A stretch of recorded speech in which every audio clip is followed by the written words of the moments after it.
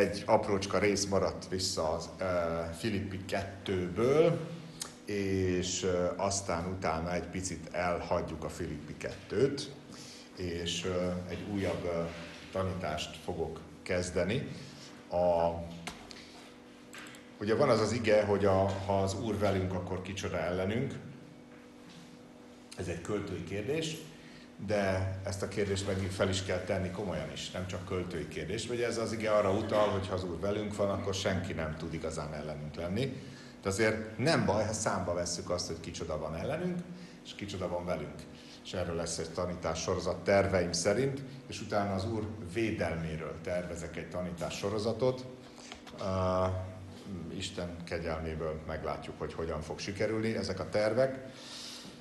És uh, ennek fogunk neki menni. Tehát a, a Filippi levél második fejezetének az igéiből egy kis kitérőt tettünk, és pedig az Efezus levélnek a negyedik fejezetébe. És ez a múlt hét ezzel ment el a múltkori tanítás, az Efezus 4.25-től talán, vagy még korábbról, 4.25-től olvastam az igét egészen a 29-ig.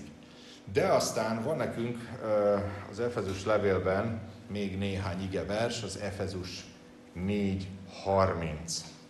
31-32, ami a Szent Szellemnek a megszomorításáról, vagy szól, és arról, hogy hogyan lehet a Szent Szellemnek a munkáját kiiktatni az életedből. Tehát Efezus 4.30, amit természetesen nem akarsz, nyilván, de itt vannak bizonyos dolgok leírva, amik nagyon-nagyon fontosak. Tehát az Efezus levél 4. fejezetének utolsó három verse, 30, 31, 32 következik.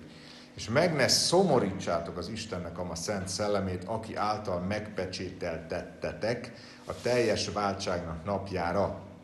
Minden mérgesség, fölgerjedés, harag és lárma és káromkodás, kivettesség közületek minden gonoszsággal együtt.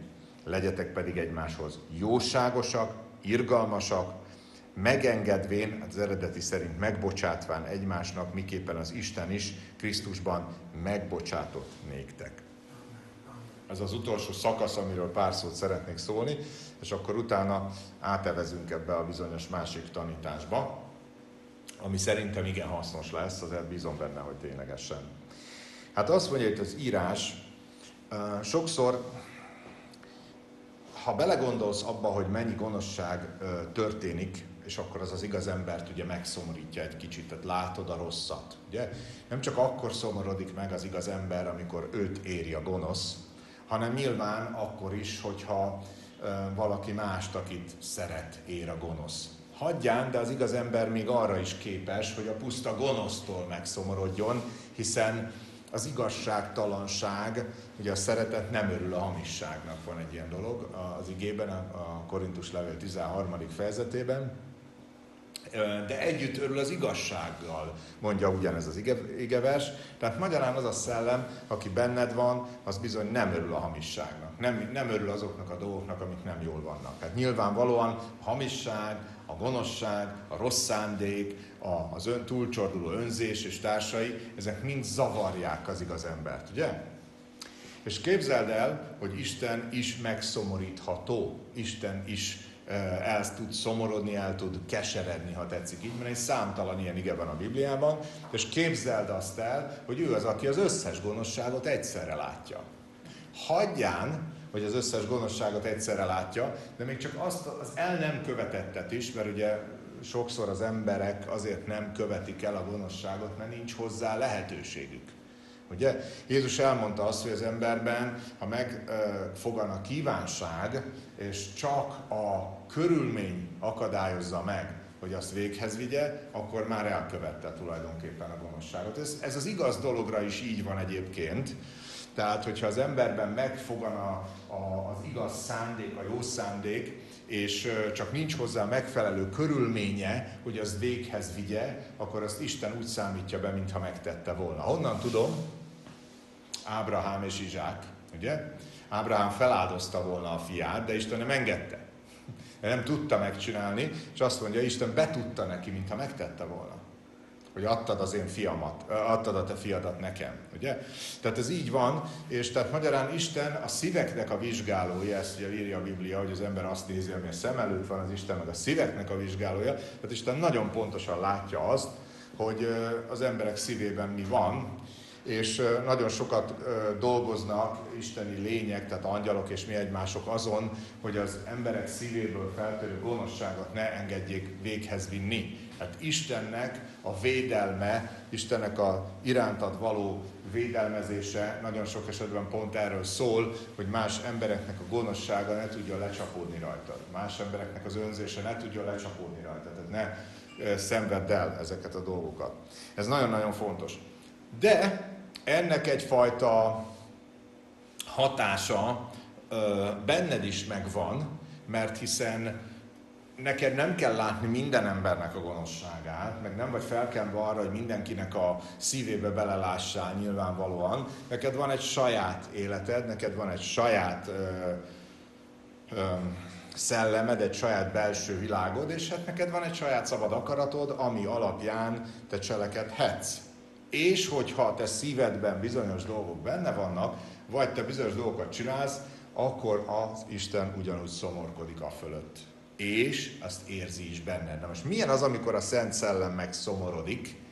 Hát ez körülbelül olyasmi, mint, mint amikor te szembesülsz valamivel, látod a gonoszságot, biztos látsz ilyet, tehát ez, ez, ez nagyon egyszerű megnézni, az ember gondol valamire, hogy hát igen, bizony, sajnos gonosz dolgok vannak, de én sajnos nem tudok ellene tenni semmit.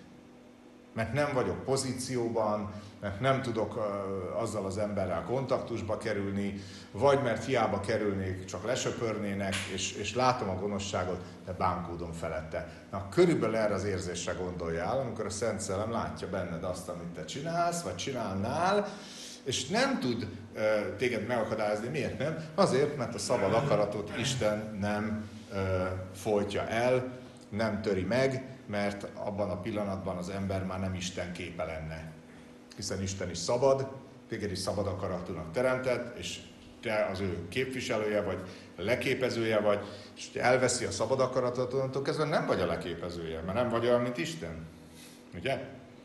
Ez ilyen dolog. Tehát mi emberek vagyunk itt azért, hogy egymás szabad akaratát manipuláljuk, ha tetszik így mondani és más, más nem csinálhatsz, mint rábeszélhetsz, vagy lebeszélhetsz embereket bizonyos dolgokról, magyarán ráveheted arra, hogy az ő szabad akaratával valamit eldöntsön. Mert minden több, minden, ami ennél több van, az varázslás vagy erőszaktétel az ige szerint. És hát ez beláthatóan ténylegesen így van. Mit csinál ilyenkor a Szent Szellem, amit te bánkódva csöndben marad, visszahúzódik, nem tudsz mit csinálni? Gondolj csak esetekre. Ugye nem kell nagyon kell nagyon messze gondolni. Hogyha elgondolod, hogy mi megy a közéletben, mi megy a politikában, akkor azt látod, hogy szomorú vagy, nem tudsz vele mit csinálni, mert semmi hatásod nincs rá. Na hát itt egy-két dolgot felsorol a Biblia, hogy mi az, ami a, a, a, a Szent Szellemet megszomorítja, tehát passzivitásra kényszeríti, visszahúzódásra. És hát ugye ez egy nagyon nagy baj, mert Isten az ő Szent Szellemét nem azért adta, hogy visszahúzódva passzív legyen benned, ez nagyon fontos gondolatám, mert nagyon sok esetben életbe vágó az, hogy a Szent Szellemnek a tevékenysége zajlik-e, zajlódhat-e benned, és te azzal tudsz-e foglalkozni. Ha csak a vezetésre gondol, gondolsz, ha csak a megvédelemre gondolsz, hogy szellemtől kapsz valami kijelentést, vagy nem. Ugye? Most nemrég hallottam egy testvérnek a bizonságtételét, aki az Egyesült Államokban katona, és hát ez már hat évvel ezelőtt, és tudom, 2006-ban történt ez az eset, hogy, hogy bizonyságot tett arról, hogy ők azok az emberek, azok a katonák, akiket kirendelnek valamilyen nagyon meleg helyzetbe. Tehát például ők teszik le a jelzést arra, hogy hova kell lőni. Vannak ilyen elektronikus jelző akármik, és akkor be kell menni arra a területre, az ellenséges területre ezeket a jelzéseket elhelyezni. Ők azok a frontvonalas emberek, akik, akiknek el kell menni olyan helyek, helyekre, ahol éles lövészet zajlik ellened. És hát ugye ilyenkor az szokott lenni, hogy bemenne elfoglalnak egy utcát, vagy valamit, és akkor megkeresik a legmagasabb épületet, annak fölmennek a tetejére, és ott elhelyeznek egy adóvevőt, hogy ha bármilyen kommunikációt tudjanak képíteni azonnal. ez a taktika, ez a menet. És hát ugye ez egyébként a közel-keleti háborúban történt esetek, ilyen nem tudom, hogy hol, nem árult el az illető, hogy hol volt bevetésen, de lényeg az, hogy, hogy keresztényként tanították őt, hogy a Szent Szellemre figyeljen nagyon, mert ő az, aki meg tudja védeni. És ugye mentek megint egy ilyen bevetésre, és szokás szerint ő volt az, aki megy föl az épületbe, és rakja le azt a bizonyos rádióadóvevőt, hogy tudjanak kommunikálni a központtal, hogy bármi van, tudjanak légik akármit hívni, vagy mit tudom, micsoda. És menne föl, és mondja neki a Szent nem, nem mész föl, nem menj föl. És akkor, de megint futna neki, nem, nem menj föl. És akkor keresett valami más magaslatot, amire fölrohant, és a társa, akinél szintén volt egy ilyen tartalékrádió, fölment, és fönt várták, és azonnal lemészárolták a fickót. Nagyon szomorú dolog, de ő megúszta.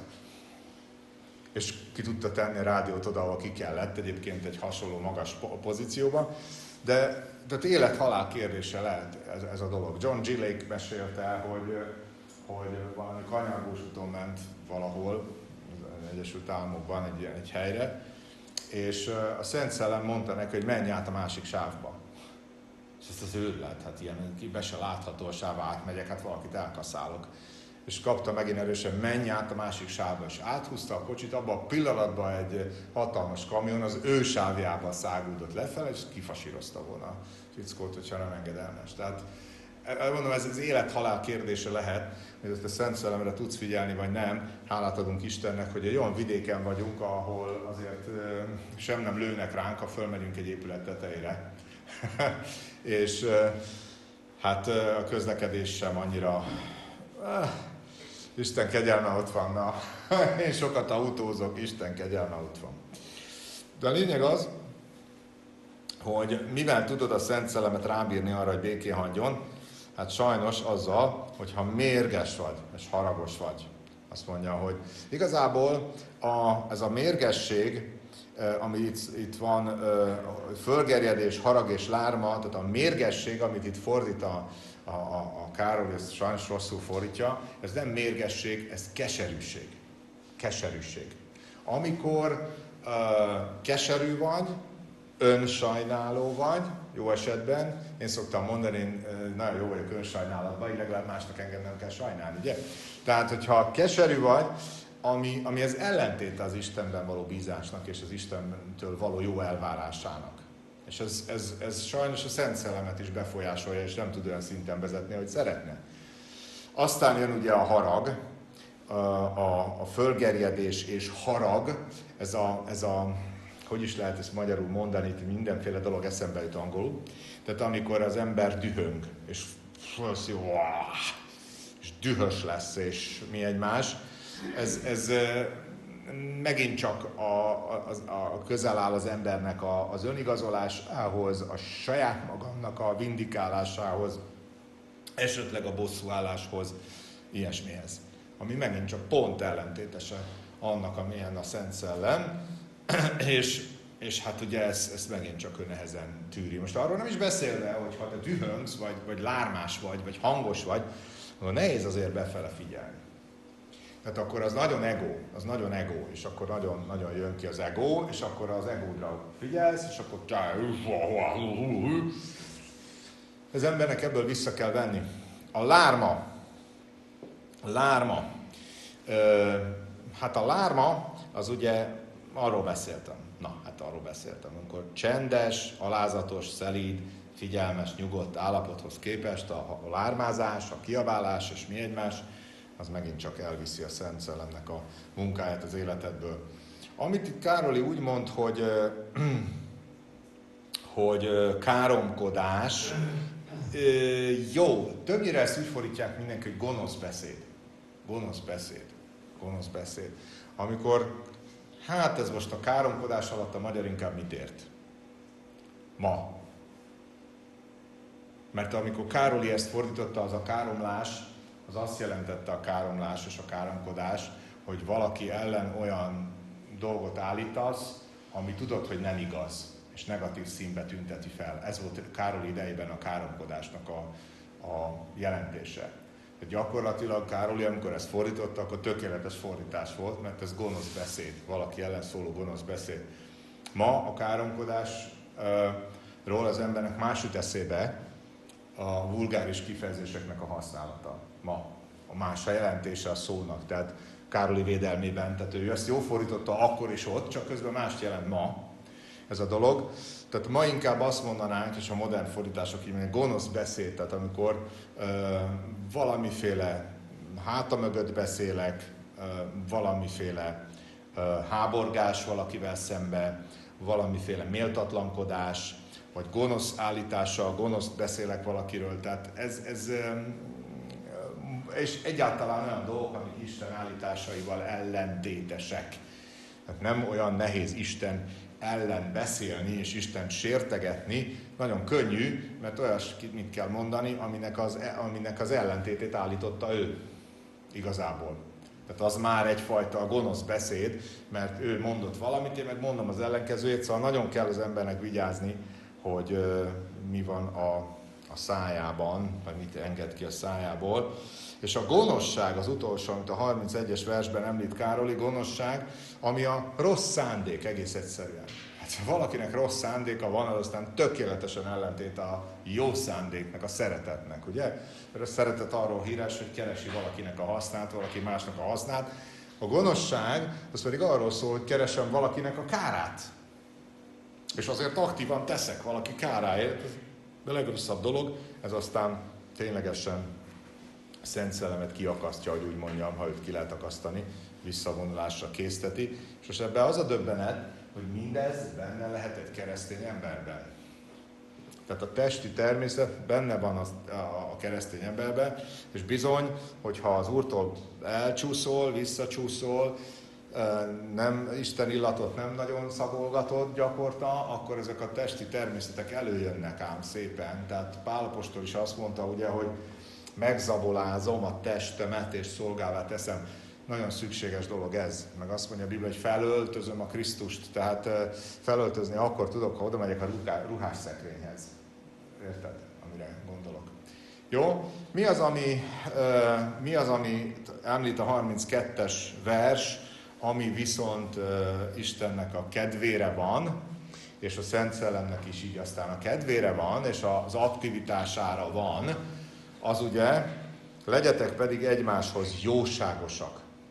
Tehát a jóságosság az két dolgot jelent, drágám. Egyrészt azt, hogy jó a szándékod, de másrészt azt is, hogy kedves is vagy.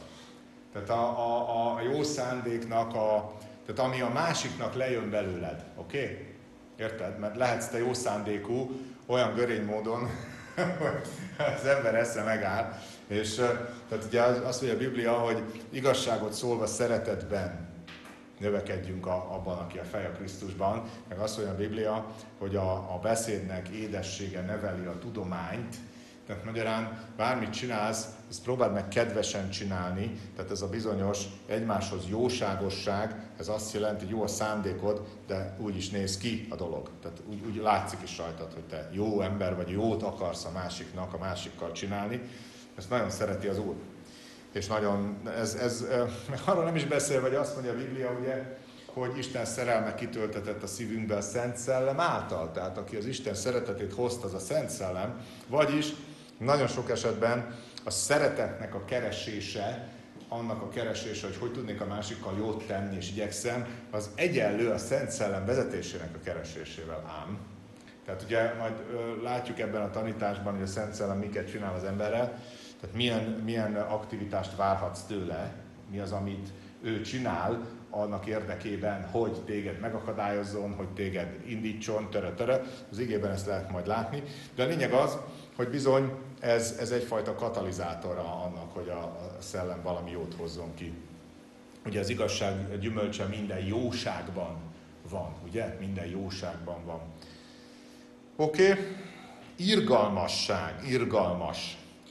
Öm, hát ez a, ez a kedves szívű, irgalmas, aranyos, aki nem, aki úgy elfedezi a szeretet mindent elfedez, úgy nem akarom látni a hibákat, meg úgy, úgy, úgy úgy, úgy elfedezem a dolgokat, meg úgy meg is védem a másikat, meg mi egymás, az irgalmasság, kedvesség. És végül a legfontosabb, amit ugye megengedvén megengedésnek fordít Károli, biztos vagyok benne, 1600-as években ez azt jelentette, hogy megbocsátás, nagyon, nagyon erős a gyanúm. Tehát itt megint valószínűleg arról van szó, hogy Károly nem félrefordítja ezt a dolgot, hanem nyilván akkoriban ez ilyesmit jelent, és ugye a Bibliát, a Károli Bibliát sokan revidiálták azóta már, és bizonyos dolgokat nem javítottak ki. Hát a lényeg az, hogy a legtöbb fordító ezt megbocsátásnak fordítja el annak rendje módja szerint. Hát a megbocsátatlanság, tudjuk mit csinál, démonokat vonz be, Szent Szellemet szomorítja meg. És akkor aztán az kellemetlen hatásokat. Viszont a megbocsátás az meg pont ellenkezőleg. Az meg kizárja az ellenségnek a munkálkodási lehetőségét, és bizony úgy tűnik az igéből, hogy a Szent Szellemnek a munkáját viszont erősíti. Ugye ennek a fejezetnek az Efezus 4, amiben most felolvastam a 30-32-t, az első, második verse is valahol erről szól, a keresztényi közösségről, hogy ugye járjatok az elhívásotoknak méltóan, teljes alázatossággal, szelítséggel és hosszú tűréssel. Az alázatosság és a szelítség, ez a csöndes típusú ember, aki, aki alárendeli magát inkább, és, és stb., az könnyebben vezethető a Szent Szellem által, és itt is említi a Biblia, ez a bizonyos Efezus 4.2, hogy igyekezvén megtartani a szellem egységét, ugye? Tehát a Szent Szellem által létrehozott egységet, ez is bizony alázat kell, nemrég volt erről is tanítás. Na most hát ennek apropóján kezdtem el én gondolkodni azon, hogy jó, hát igen, a Szent Szellem egy nagy, talán a legnagyobb valaki, aki, nyilván ő a legnagyobb valaki, de talán ő a legnagyobb faktor az életünkben az értünk munkálkodók közül. Ugye? De azért nézzük meg azt, hogy kik vannak velünk és kik vannak ellenünk. Mert ez egy nagyon tanulságos sor, ha tetszik így mondani, nagyon tanulságos felsorolás. És az természetesen úgy gondoltam, hogy az igéből fogjuk megnézni ezeket a dolgokat, de egyszerűbb ezt az egész dolgot úgy csinálni, hogy először elmondom, hogy ki van veled és ki van ellened testvér. Egy háborúban állunk, ha tetszik így mondani, tudjuk azt, hogy a világ a gonoszságban vesztegel, te meg nem, és azért egyfajta hadviselésed van, és azért, ha megkérdezel egy keresztény embert, hogy kivel van neked hadviselésed, akkor mindenki az Isten fiakat emlegeti, ugye? Hogy nem test és vér ellen van nekünk tusakodásunk, tere-tere, ezt az egyikét elmondja. Na de hát azért van már más is ám, és ez egy nagyon csúnya sorozat, de akkor azt is meg kell nézni, hogy igen, ki van a mi oldalunkon. És és hát akkor jön a felsorolás, aztán utána jön az, hogy melyik mit csinál a te életed ellen, és melyik mit csinál a te életedért, és aztán majd utána jönnek az igék tömegével, hogy ezt honnan tudjuk. Tehát mit, a Biblia pontosan hol definiálja ezeket a dolgokat. Erről fog szólni ez a tanítás, egy ilyen kicsit hosszadalmasabb valami, és, és hát nem fogunk ma vele végezni természetesen, de legalább elkezdjük. Tehát nem kell messze menni, ahhoz, hogy az ember megtalálja az első, legelső ellenségét, hústesti természet, így van. Annyiban javítanálak ki, hogy nem a test, mert amit a Biblia testnek mond, egyébként hústestnek szoktuk fordítani, mert a görög nemes egyszerűséggel a húst említi, a sarx, ami azt jelenti, hogy hús. De igazából nem a fizikai testeddel van a problémád, hanem amit úgy fogalmazunk meg inkább, hogy a testi természet. Az ember testi természete. Ez az első. Nem kell messze menni érte. A második a démonok. Mert hát őróluk is beszélni kell, és tudom azt, hogy a Biblia ö, ö, nagyon homályosan definiálja, de definiálja a démonoknak az eredetét majd esetleg erről egyszer tanítok, mert a kereszténység tele van azzal a tanítással, hogy a démonok azok bukott angyalok. Nem. Rosszabb a helyzet sokkal ennél. A démonok azok a, az Isten fiak, ugye ismered a Genezis 6 hogy látták az Isten fiait, az emberek lányai szépek, vevének feleséget maguknak a választásuk szerint, és szültek, stb. óriások szél voltak a földön, mi egymás. És amikor Isten eltörölte az özönvizet, vízzel ezt az egészet, akkor eltörölte ezeknek a testét. Tudjuk, hogy azokat a védkező angyalokat lezárta a tartaroszba, ugye, tudjuk a új szövetségi szentírásból, de mi lett azokkal a, azoknak a lényeknek a szellemeivel, akik ide születtek erre a földre? Tehát ők a démonok. Ugye? Most nemrégen hallottam egy tanítást arról, hogy a, aki arról beszélt, hogy a teremtéskor a démonok itt voltak, nem voltak. Nem voltak. Akkor nem léteztek démonok. Ezek olyan szellemek, amik isteni lényeknek és embereknek a közös produktumai. Ez van. A Bibliából nagyon szépen kimutatható, tehát nyilvánvalóan sokan ezeket az igéket nem veszik figyelembe, és nem látják meg. Most ezt békén hagyjuk, hogy honnan és hogyan, de nem egy, nem két igevers van, ami ezt tökéletesen alátámasztja. Illetve második templom időszakából fönnmaradt irodalom tömege az aztán meg abszolút világosan tisztázza, hogy ez a démonok honnan származnak. Aztán a harmadik, aki veled szemben áll, azok sátán emberei. Hát igen, sátánnak vannak emberei. Ez világosan beszél erről is a Biblia, hogy vannak olyan emberek, akik sátánnak dolgoznak. Tudva, vagy anélkül. Ez elég ide, ide, idegesítő mondat volt részemről, hogy tudva, vagy anélkül. De a Biblia ezt így tanítja, hogy vannak, akik szándékosan, vannak, akik pedig tudtunkon kívül sátánnak a malmára hajtják a vizet. Ugye? Ezért van az a mondás, hogy ugye a pokorra vezető út jó szándékkal van kikövezve, értelmezzük ezeket a dolgokat, ez nem bibliai ige természetesen, de látni fogjuk az igéből, hogy ennek mi az anatómiája, hogyan megy ez. Jó? A negyedik, aki veled szemben áll, azok, amit a keresztények idézni szoktak, az az Efezus 6.12, hogy féldelemségek, stb. Tehát amit felsorol a Biblia az Efezusban, azok a bizonyos bukott istenek, akik még mindig az embereken uralkodnak. Ezt lehet, be lehet mutatni az igéből, gyönyörűen majd látni fogjuk a példákat. És az ötödik, az utolsó, mit gondoltok, kiről van szó? Nyilván sátán, aki a nagy lázadó, akit egyszerűen csak sátánként említ a, a kereszténység, azért, mert az új szövetségi szentírás végén, a jelenések könyvében mindaz, a gonosz, ami a kígyó, a sátán, a diabolosz, az ördög, terere, az össze van, a sárkány, a régi kígyó, az össze van foglalva, hogy ez egy és azonos személy. Tehát ez egy figura, aki az ősi lázadó. Hát ez a negatív oldal. Jön a pozitív oldal, ki van az oldaladon, amikor te a keresztény életedet éled. Hát ezért se kell nagyon messze menni, mert van neked egy isteni természeted is, nem csak egy testi. Van az embernek egy testi természete, meg van egy isteni természete, ugye? Az embernek a szelleme, az egy isteni természet, és ha hiszed el, ha nem, a Biblia szerint ez az isteni természet, ez bent van mindenkiben, aki erre a földre megszületik. Vagy legalábbis a Biblia úgy tekinti az ember, mint akiben ott van valami, ami az isteni természetből van, és ezt bárki használhatja. Nyilván, arról nem is beszélve, aki új teremtés Krisztusban, annak meg egy új szelleme van, annak aztán főleg, tehát benne van az emberben az isteni szellem, és ez az embernek isteni természetet ad. Tehát nem csak azok az isteni természetei, mint például, hogy intellektus, hogy beszélsz, hogy szabad akaratod van, ezek is isteni természet dolgai. De hát ez a, ezek a természetek, ezek okozhatnak pozitívat is, meg negatívat is, ugye? Tehát magyarán az, hogy szabad akaratod van, az az isteni természet része, na de ezt a szabad akaratodat Istennel szembe is fordíthatod. Oké? Okay?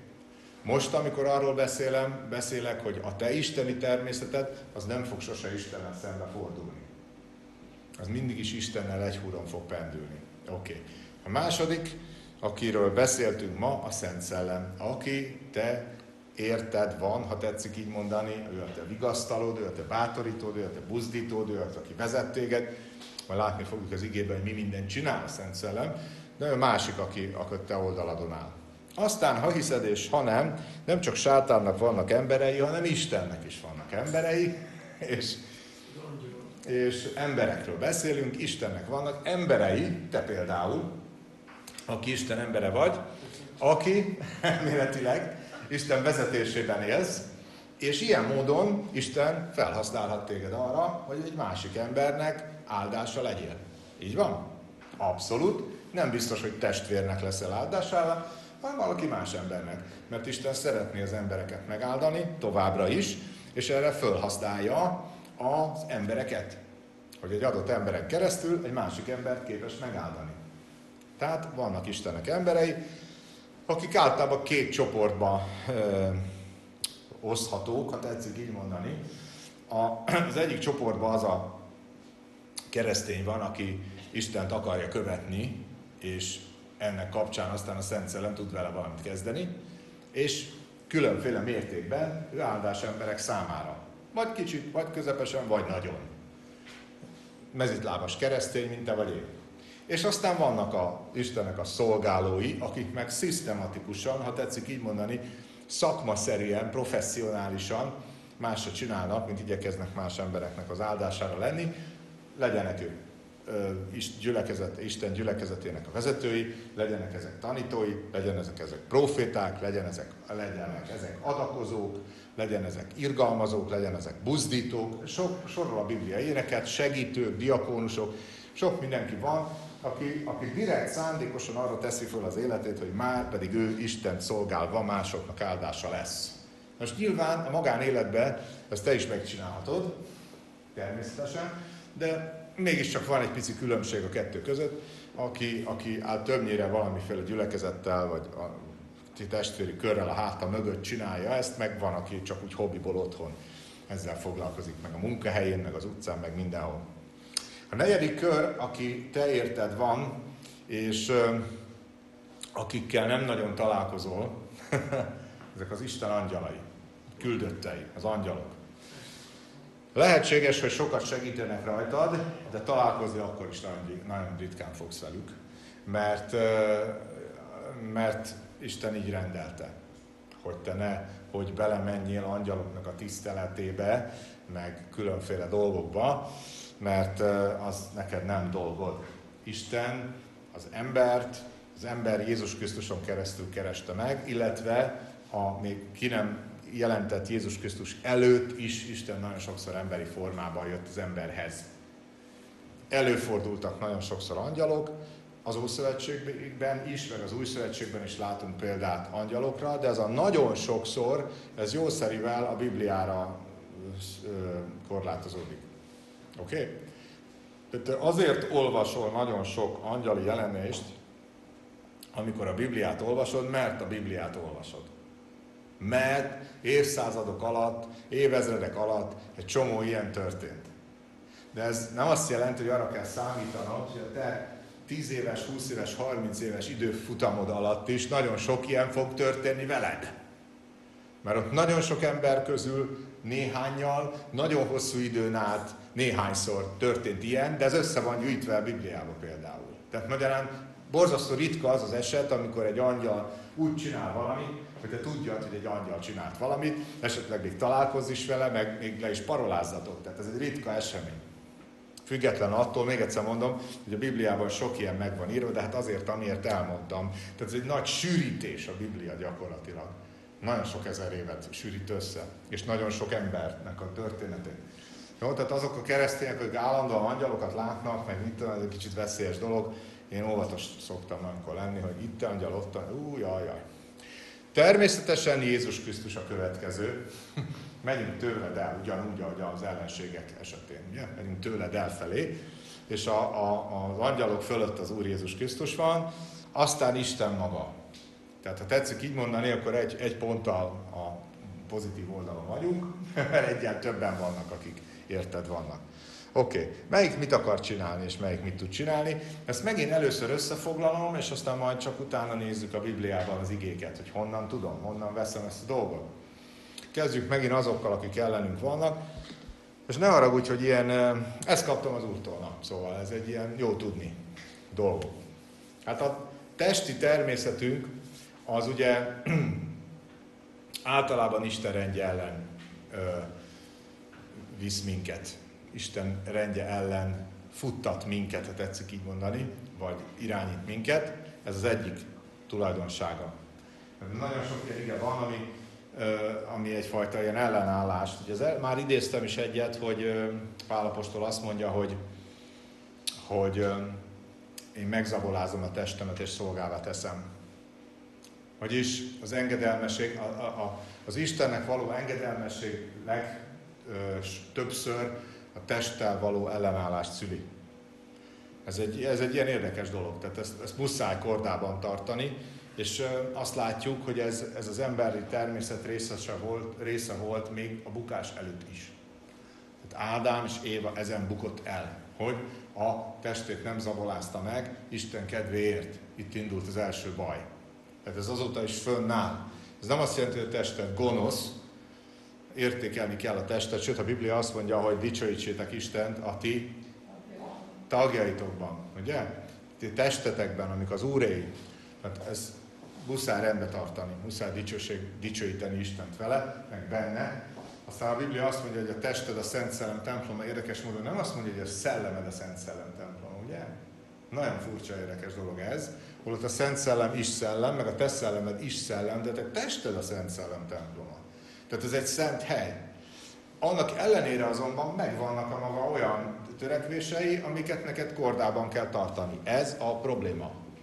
A legtöbb esetben. Hogy ezt az ember nem teszi meg, és abból lesz a baj.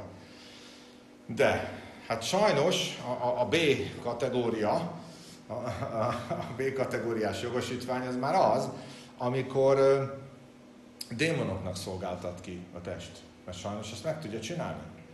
Tehát amikor az ember a testi dolgait annyira nem tartja kordában, amennyire, akkor bizony a, a szellemi lények első kategóriájának képes kiszolgáltatni magát. Ezért mondja a Biblia, hogy józanok legyetek. Ezért is nagyon fontos dolog, hogy az ember józan legyen, és a testének a nagyon fontos dolog a mértékletesség. Aztán majd beszélünk ilyen esetben a gonosz kívánságról, meg a kívánságnak a gonosz kiéléséről, meg sok minden van. De a lényeg az, hogy a test ilyet tud csinálni. Aztán természetesen, ha az ember gonosz módon él, akkor nem csak démonoknak szolgáltatja ki magát, mert ne felejtsük el, hogy ezeket az isteni lényeket, akik fölöttünk ólálkodnak sajnos, ezeknek az egyik kategóriát úgy hívják, hogy ez élet sötétségének világbírói. Tehát ők betartanak bizony neked keményen, hogyha azt látják, hogy ez nagyon érdekes. Isten törvényét használják ki ellened. Ez volt Jézus Krisztusnak a problémája a farizeusokkal. Erről, erről beszél Timóteus, hogy a parancsolat vége a tiszta szívből, igaz hitből és jó lelkiismeretből való szeretet. Tehát magyarán Isten az igét azért adta, hogy az embert szeretni tanítsa vele. A farizeusok mit csináltak? Kicsinálták az embereket vele. Pont ez a lényeg. Tehát minden igazság, minden igazságosság és minden perverzió is Istentől származik. Jaj, mit mondtam, hogy, hogy a perverzió Istentől származik. Hát ha Isten az igazat nem adta volna, akkor azt nem lehetne elfordítani, perverzé tenni. Nem ő tette perverzé, de azzá tette valaki. Hát végül is valahol Istentől jött ez az egész. Uh-huh. Mindenért Isten felelős, ő kezdte.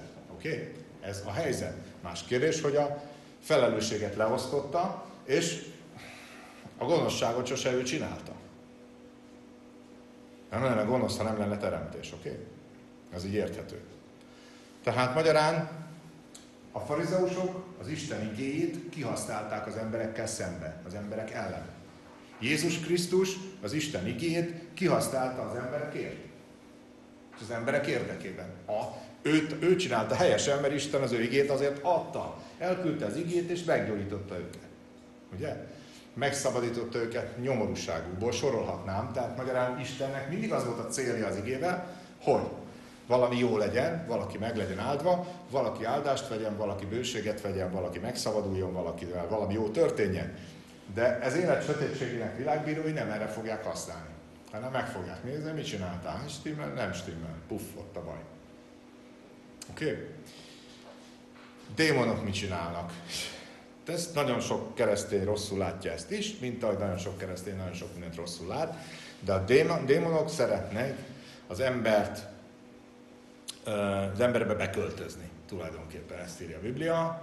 Az emberben ott lakik az embernek a saját szelleme, és az, az embernek a a testet tekintsd úgy, mint egy interfészt, amin keresztül az anyagi világgal tud kapcsolatba lépni a te szellemed, a te lelked, te magad. Jó? A démonoktól ez elvétetett, démonoknak ez nincs. Viszont szeretnék magukat kifejezni, szeretnének bizonyos dolgokhoz hozzájutni, amihez csak úgy tudnak hozzájutni, hogyha beköltöznek valakibe. És ez mindig a testhez kötődik, oké? Okay? Beköltözni valaki. Bár ezt nem tudják megcsinálni, akkor megpróbálják gyötörni az illetőt. Ha ezt nem tudják megcsinálni, akkor megpróbálják befolyásolni az illetőt. Ezt démonok csinálják. Ez a helyzet. Most nyilvánvalóan, ha keresztény ember az Úrra figyel, akkor ezt mind kiüti.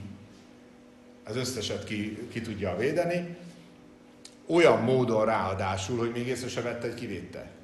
Mert Isten után megy, és egyszerűen szóba se a dolog. Most nem arról beszélek, hogy te megijedjél, és rettegél, és féljél, hanem arról beszélünk, hogy a démonok mit akarnak csinálni. Oké? Okay?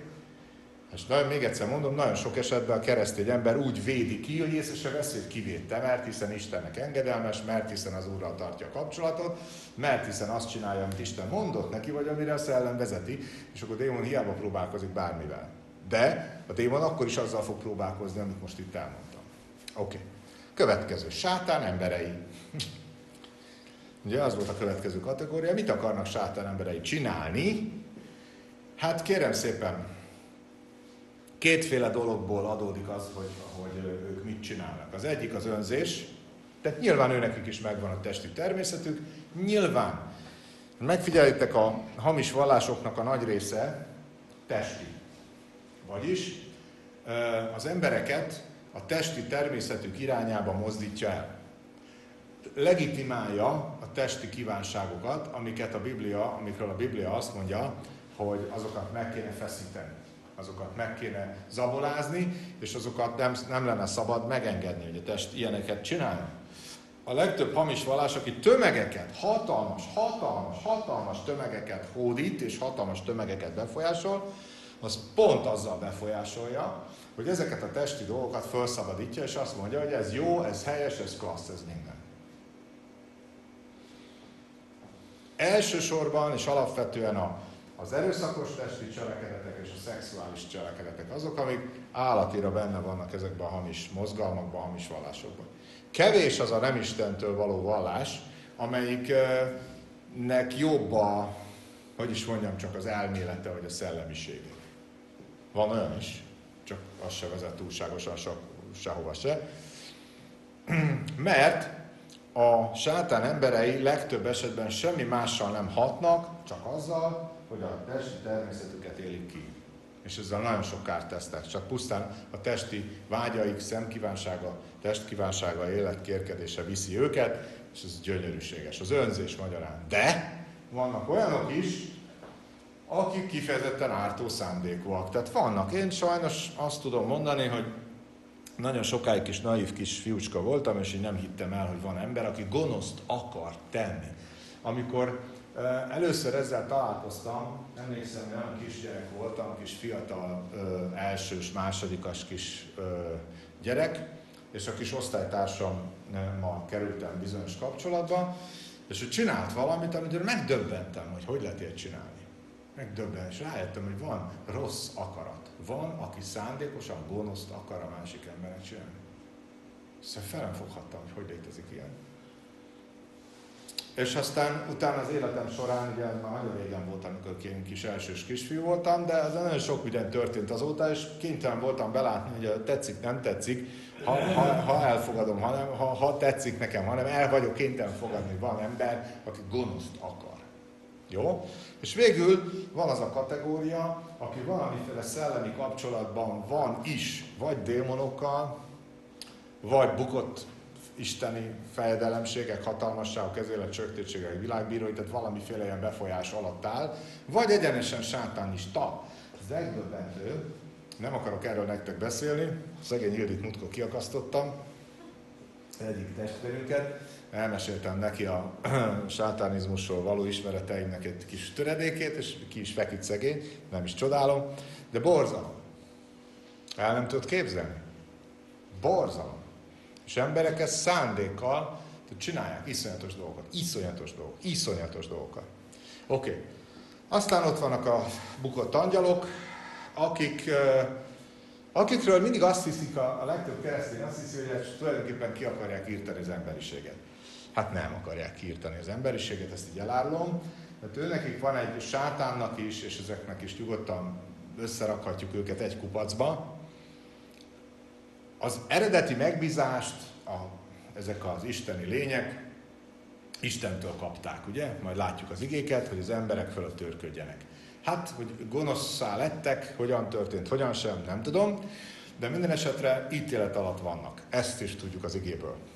Azt is tudjuk, hogy ez az ítélet mikor teljesedik be, a mi Úrunk Jézus Krisztus megérkezik, hurrá, nagyon jó lesz, és akkor ez beteljesedik ez az ítélet. De eladdig egyetlen egy dolgot tudnak csinálni, az időt nyújtani.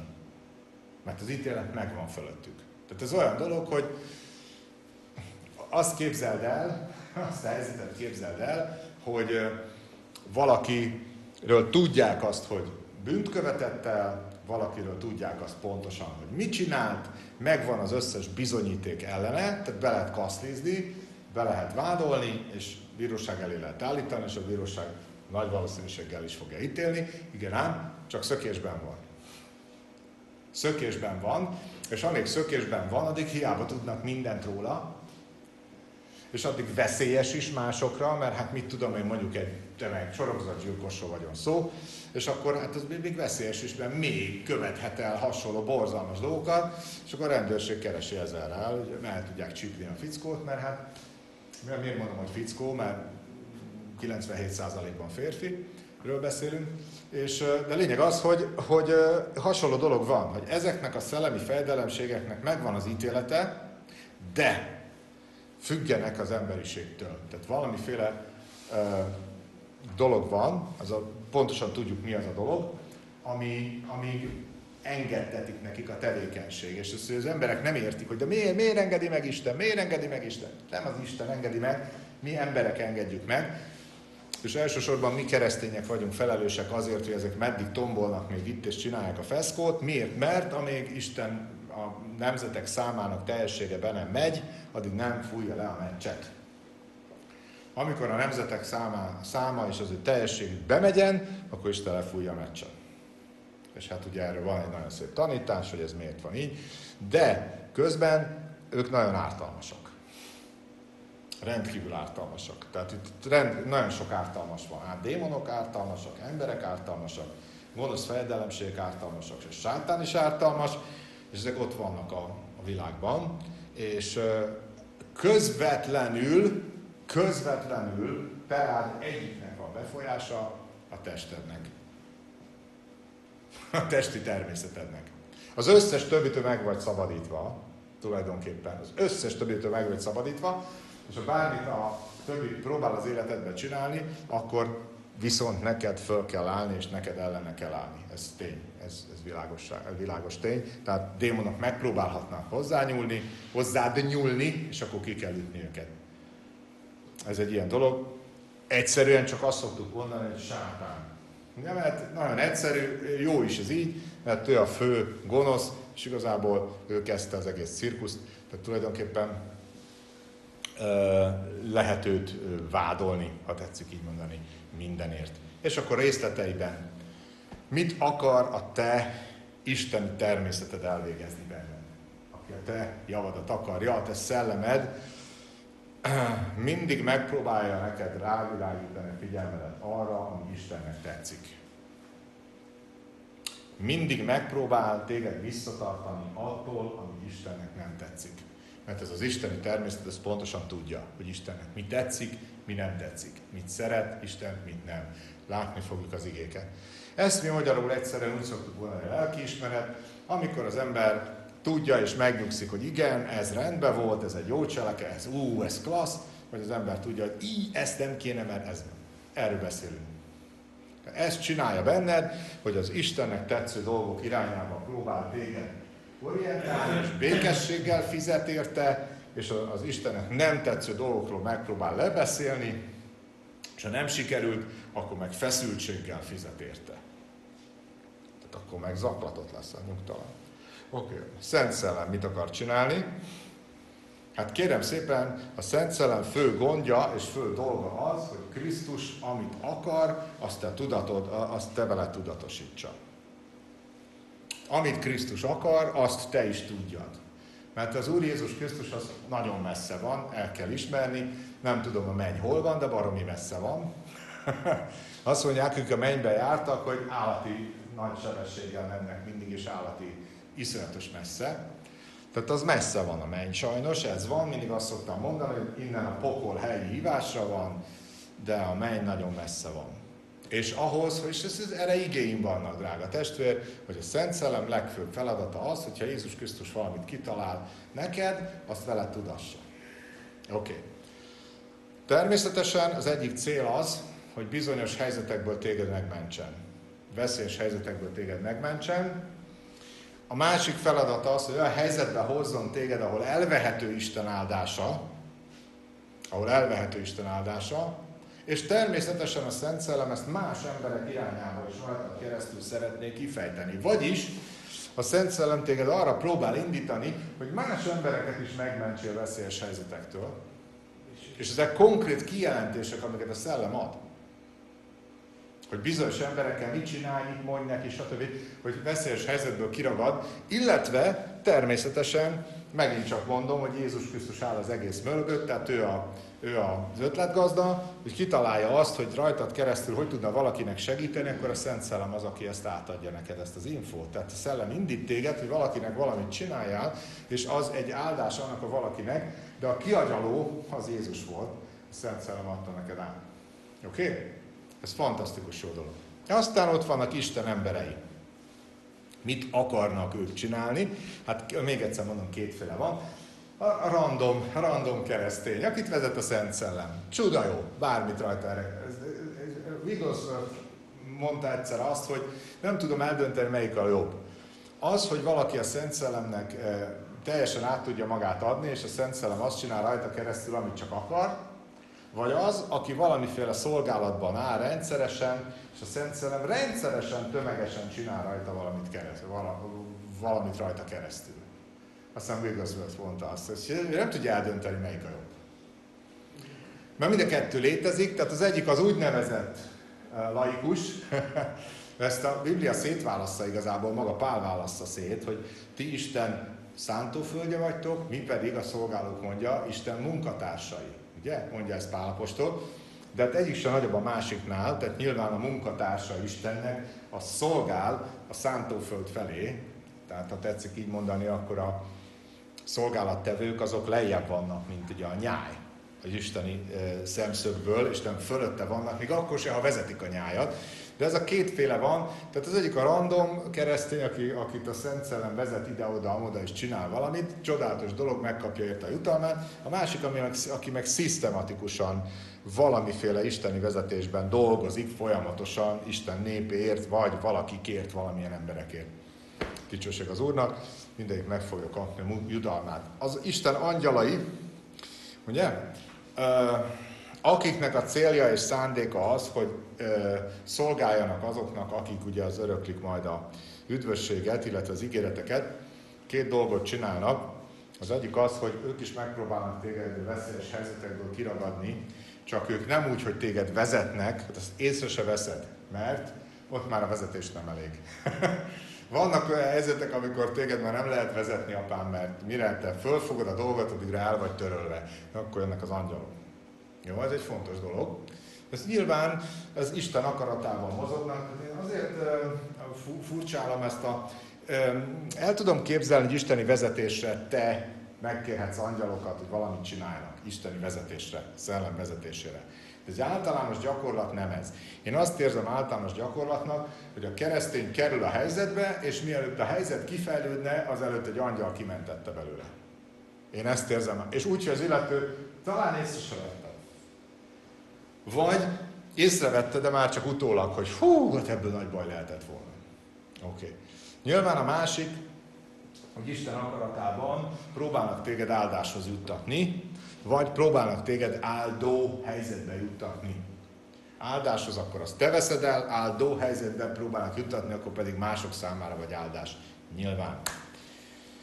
Ötödik pont a Krisztus mit csinál? Hát ugye tudjuk azt, hogy két dolgot. Egyrészt megváltott, tehát Isten adott neki lehetőséget arra, hogy téged megváltson, és mitől kellett megváltani?